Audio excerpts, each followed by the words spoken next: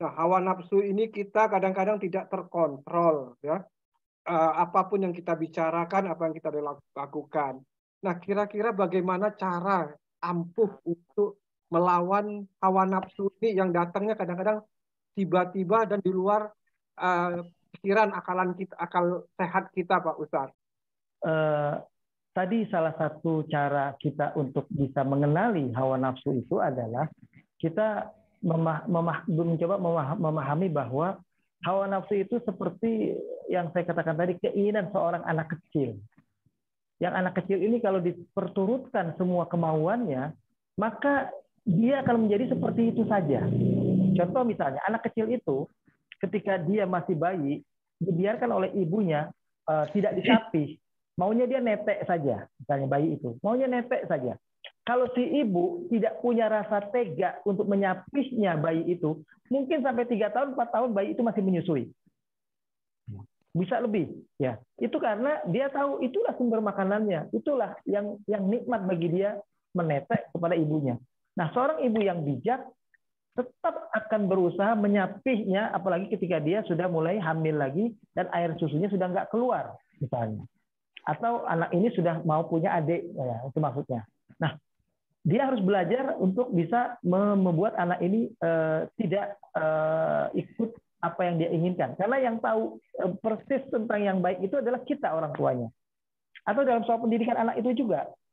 Anak itu kalau kita biarkan misalnya dia masih umur setahun dua tahun sudah pegang gadget, sudah pegang handphone, sudah pegang uh, alat uh, sekarang itu ya semuanya uh, laptop macam-macam. Nah kalau dia sudah itu kita ikuti aja maunya dia, maka sampai dia besar dia tahu itulah kenikmatan hidupnya.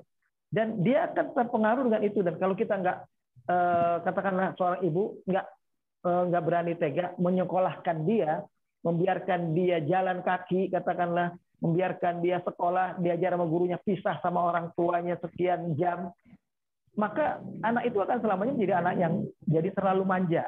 Nah itu begitu. Nah kita harus memahami kira-kira hawa nafsu itu seperti, persis seperti anak kecil tadi yang harus dihentikan uh, apa yang jadi keinginannya sekali waktu. Jadi jangan diperturutkan terus-menerus. Karena kalau begitu, begitu kita memperturutkan, kita akan uh, kecewa nanti di akhirnya bahwa akhirnya anak kita kok jadi begini. Itu gara-gara kita sendiri yang tidak uh, mampu mengontrol dan mengendalikan mereka. Alhamdulillah kita sebagai kaum muslimin, Allah sudah mencariatkan satu ibadah yang membuat kita bisa mengontrol hawa nafsu kita, yaitu ibadah puasa. Nah, ibadah puasa ini adalah salah satu ibadah yang hikmahnya adalah mengontrol hawa nafsu. Betapa tidak, saat kita lapar, kita inginnya makan. Ya. Tapi saat itu kita tekan keinginan kita untuk makan, untuk kita sabarkan, kita kuatkan sampai nanti. Ya, pada waktunya, yaitu waktu maghrib. Dan untuk kita bisa makan pada waktu maghrib, dilatih, dibekali dulu dengan kita eh, apa namanya sahur, katakanlah begitu. Nah, ketika kita laparnya bagaimanapun, tapi kita tidak punya alasan untuk kita berbuka, kita bukan musafir, kita bukan orang yang sakit, maka kita tetap berupaya menahan diri tidak makan, walaupun kita sangat lapar. Nah itulah orang yang belajar menahan hawa nafsunya. Begitu pula dengan syahwatnya. Ketika dia berpuasa, dia belajar mengendalikan syahwatnya, bahkan terhadap yang halal baginya, yaitu istrinya istrinya halal baginya, tapi di siang hari dia berusaha untuk menghindari itu. Walaupun dia lihat istrinya terbuka, ya mungkin dia istrinya menarik, apalagi dia baru menikah, misalnya kayak pengantin baru, tapi dia sadar ketika sedang puasa, dia sedang beribadah eh, kepada Allah. Nah, hanya bisa berhubungan dengan istri ketika nanti setelah maghrib misalnya.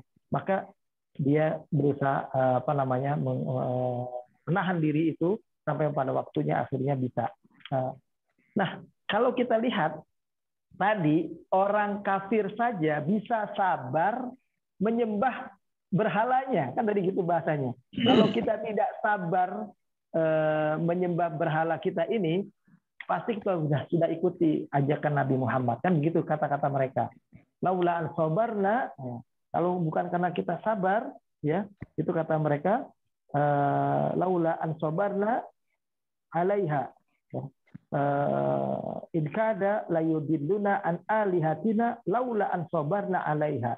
Hampir saja Muhammad itu bisa menyesatkan kita dari penyembahan kita kepada berhala ini seandainya kita tidak bersabar menyembah berhala ini. Artinya orang kafir pun dengan kesalahannya bisa kuat bersabar.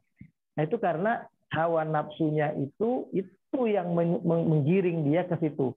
Nah kita diminta hawa nafsu ini dikasih petunjuk, dikasih uh, pimpinan akal.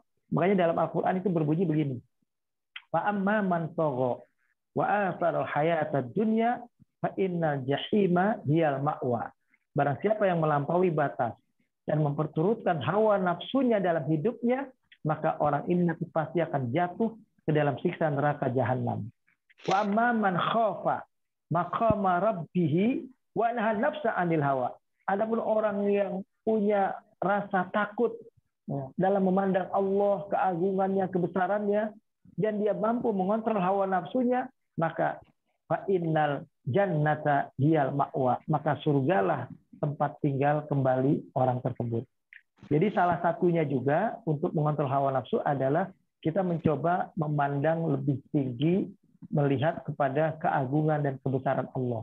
Di samping tadi mengandaikan uh, hawa nafsu seperti anak kecil, jadi kita nggak mau dong dikatakan seperti anak kecil. Kita sudah dewasa, kita lebih bisa berpikir.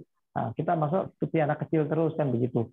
Yang kedua juga adalah memandang kebesaran Allah, ya bahwa kebesaran Allah itu yang kita lihat dari tanda-tandanya ya pergantian siang malam ya dari tanda-tandanya penciptaan langit dan bumi penciptaan manusia yang dengan penuh kesempurnaan seperti ini ya itu semua akan mengakibatkan kita akan lebih ingat kepada dia sang pencipta. Barangkali itu. Jadi eh, ibadah puasa itu salah satu cara untuk kita belajar pengendalian hawa nafsu yang terbaik. Saya kira itu. Jadi kalau kita belum mampu eh, dengan puasa yang wajib saja untuk mengendalikan hawa nafsu, kita tambah dengan puasa sunnah. Barangkali tambahan puasa sunnah akan lebih melatih kita untuk bisa mengendalikan hawa nafsu kita. Ya, karena kalau kita berpuasa, ada makanan enak pun kita akan tidak makan dulu, bersabar untuk itu. Ya, karena belum waktunya kita makan. Apalagi untuk perbuatan-perbuatan maksiat lainnya. Kita sadar, oh lagi puasa, Tentu kita nggak boleh ngambil barang, nggak boleh kita emosi, nggak boleh kita marah, nggak boleh kita balas uh, perbuatan buruk orang. Nah, itu semuanya karena kita sedang berpuasa. Jadi puasa mengingatkan kita supaya berpikir bahwa kita sedang uh, dilatih oleh Allah saat itu untuk tidak memperturutkan apa yang menjadi maunya kita. Sebetulnya hakikat takwa di situ ini kemampuan seseorang menundukkan keinginannya untuk diarahkan kepada keinginan Allah Sang Pencipta. Maka orang yang sudah mampu mengendalikan dan menundukkan hawa nafsunya, mereka adalah orang yang bertakwa sebetulnya. Itu juga ke arahnya. Kalau dikaitkan dengan fujur, bagaimana ya Pak ya? Yang dari surat Asyams itu. Fa'alhamaha fujuraha wa taqwaha. Itu maksudnya adalah manusia punya eh, apa namanya eh, Allah telah memberikan kepada mereka ilham, ilham itu berarti bimbingan batin, bimbingan yang merupakan ada kecenderungan-kecenderungan. Manusia punya kecenderungan berbuat baik dan punya kecenderungan berbuat jahat. Nah, di sinilah fungsinya keimanan. Di sinilah fungsinya ketakwaan itu sendiri.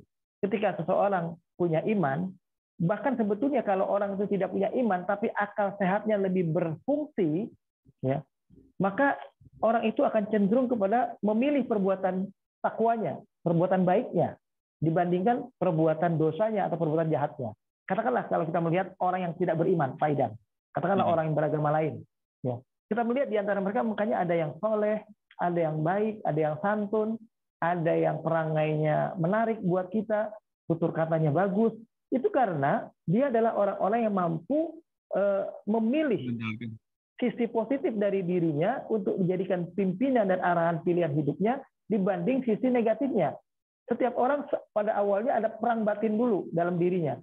Pilih ambil atau pilih tidak ambil. Pilih mencuri atau tidak mencuri. Pilih menolong atau tidak menolong.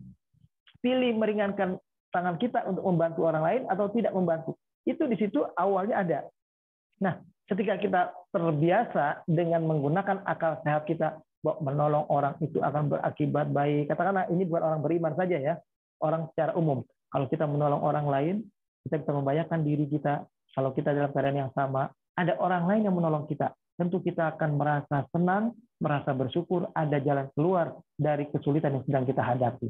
Nah, ketika kita menolong orang itu, berarti kita menolong diri kita sendiri. Ketika satu saat kita mungkin ada kekurangan, ada hal yang sama dengan orang itu. Meskipun kalau buat kita orang beriman, nggak boleh berbuat baik dengan harapan supaya orang lain menolong kita membalas dengan balasan yang serupa. Itu tidak boleh. Wa ma min ni'matin illa. Kalau orang beriman, beda lagi. Bahwa apa pun perbuatan baik yang dia lakukan, tidak mengharapkan balasan sedikit pun. Balasan yang dia harapkan hanyalah wajah Allah atau ridha Allah Subhanahu wa taala. Lebih tinggi lagi. Tapi kalau orang yang uh, umum, uh, bukan orang beriman tapi orang berakal sehat, uh, dia berbuat baik untuk kepentingan menyadari dirinya satu saat juga akan mengalami hal yang serupa. Entah dulu di masa lalu, entah mungkin yang akan datang. Maka perbuatan baiknya saat itu kepada orang lain yang dalam kesulitan, nanti akan menolong dirinya pula ketika dia dalam kesulitan. Nah, itu uh, sudah orang itu memilih takwanya. Jadi kata takwa di sini bukan takwa dalam konteks keimanan saja. Takwa dalam konteks memilih jalan yang baik, memilih pilihan yang baik. Bukan fujur, memilih pilihan yang buruk, pilihan yang jahat. Karena e, manusia dengan dibekali akal saja, diikuti akal sehatnya, itu sudah positif sebetulnya. Tapi nanti lama-kelamaan, kalau akal semata bagi orang tertentu yang sudah berilmu, nggak bisa kalau cuma akal saja. Karena suatu saat akan ada benturan antara akal dengan wahyu. Nah itu yang kita akan e, harus e, apa namanya punya e, siapa yang kita jadikan pimpinan yang lebih tinggi, wahyu kah, keimanan kah, ataukah akal.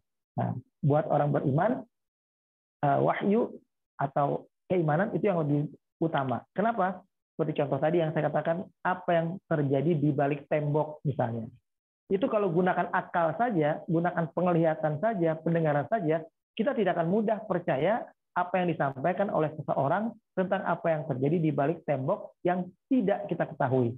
Tapi kalau kita ya menggunakan keimanan mempercayai orang itu dengan melihat latar belakang orang itu yang menyampaikan ini adalah orang yang bisa dipercaya, maka yang dia sampaikan pasti benar walaupun kita tidak harus melihat ke apa yang terjadi di balik tembok itu. Justru itulah keimanan. Kalau kita sudah tahu sesuatu eh, dengan apa yang kita lihat, berdasarkan apa yang kita dengar, berdasarkan apa yang kita lihat, maka itu bukan lagi keimanan. Jadi kalau kita nanti sudah sampai mati, tahu siksa kubur, baru kita sadar itu bukan keimanan. Kalau kita sudah tahu kejadian di akhirat, kita akan dikumpulkan, kita akan di uh, dihisap, udah sampai sana, baru kita tahu, baru sadar, itu bukan keimanan. Keimanan adalah sesuatu yang justru kita rasakan dengan hati. Jiwa kita merasakan itu sebagai sebuah hal yang kita benarkan. Itu adalah sebuah kebenaran. Bagaimana mengendalikannya, eh, lalu kemudian dorongan-dorongan positif dan negatif yang ada pada setiap manusia pada umumnya. Ya, tanpa kecuali manusia pada umumnya punya dorongan itu. Fa'alhamaha fujuraha wa taqwaha.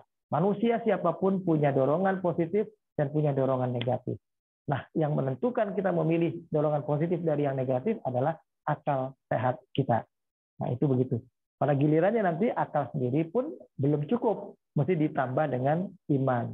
Imanlah yang akan menjadi pemimpinnya ya di atas akal yang sehat itu sendiri. Tapi akal sehat sendiri itu sudah cukup jadi modal awal. Karena dengan akal sehat orang juga bisa menjemput keimanan nantinya.